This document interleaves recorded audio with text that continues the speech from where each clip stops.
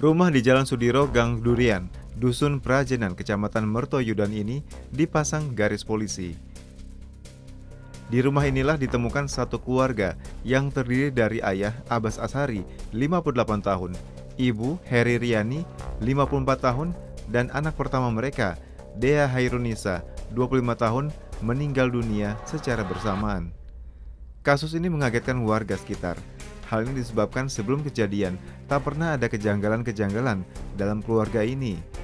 Keluarga korban juga dikenal sangat baik di mata tetangga. Hasil olah TKP sementara menunjukkan ketiga korban meninggal dunia akibat diracun.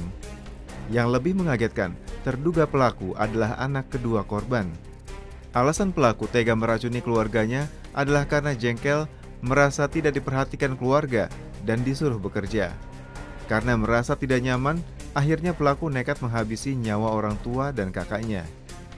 Tim Humas Polresta Magelang Polda Jawa Tengah melaporkan untuk Polri TV.